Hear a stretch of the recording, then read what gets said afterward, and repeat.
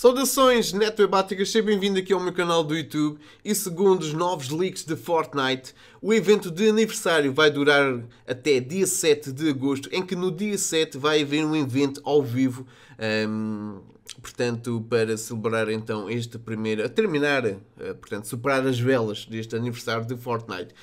Um evento ao vivo, não sei como é que vai ser, mas há um evento. Um, depois... Temos aqui nos ficheiros do jogo, como vocês podem ver aqui, um, ehm, através de algumas contas de pessoal uh, que uh, certamente trabalha e expõe isto através de ficheiros trabalhados na Epic Games, um, ehm, temos aqui que irá existir uma, uma redução do tamanho das, dos, dos portais, das, de, das rachas no, no céu de Fortnite. Uh, e pronto, vamos ter aqui então o começo daquela situação em que o pessoal não sabe o que é que está a acontecer, não tem. Porque o Fortnite não tem uma base de história, mas uh, certos eventos, certas coisas, certas mudanças vão começar a criar rumores especulações, e é isso que Fortnite tem no seu brilho, que é o jogo também uh, fora as wins e número de vitórias, e também número de skins. Etc. Portanto, vai haver então uma redução do tamanho das falhas temporais um, em Fortnite até ao dia 21 de agosto. Portanto, nas próximas duas, três semanas vamos então assistir uh, a mudanças. Se vai haver coisas no mapa, nós não sabemos. Se vão desaparecer coisas novas no mapa, não sabemos. Não sei nada a não ser este fecheiro que confirma então esses eventos. Portanto, temos o, o evento do, do Fortnite, do aniversário, superar as velas, terminar então esta situação do aniversário.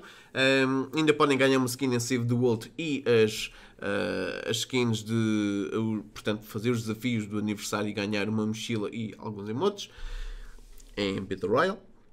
E depois temos então, até ao dia 21 de 8 de 2018, até ao dia 21 de agosto, a redução então da falha no céu, que irá então acontecer nas próximas 2, 3 semanas e que certamente já estará a preparar a Season 6. A loja McFarlane Toys, não sei como é que se diz, Mac, McFarlane Toys? Farlane Toys? Será? Portanto, esta loja é muito conhecida por criar figuras, uh, estatuetas, mas nomeadamente figuras uh, que ao nível de detalhe são uh, porreirinhas de, de comprar, de adquirir, e vamos então ter aqui uma parceria anunciada através da comunicação social das duas empresas, entre a Epic Games e a Mark Fline, Farline, eu não atino com isto. Uh, vamos ter então brinquedos, um, bonecos de Fortnite. Já temos os pops, temos agora as figuras, o merchandising de t-shirts e canecas, etc. Portas-chaves já está a acontecer.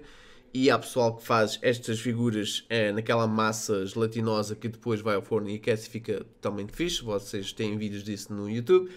Mas, uh, tendo aqui estes brinquedos, já temos aqui o que pode acontecer, né? porque skins há bué! E isto é mais uma mina para a Epic Games e para as lojas e entidades que se relacionarem então com elas. Temos a Funko, temos a Mark Farline, sério, eu não entendo com isto. um, e temos então aqui esta skin que é muito característica. E diziam até que esta skin uh, ia dar para editar a cor da skin. Uh, se calhar é uma das mudanças breves para Fortnite, mas neste momento é apenas um toy. toy!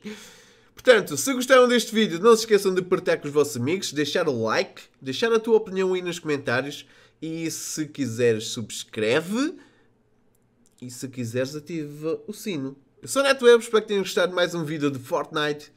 NetWeb is off.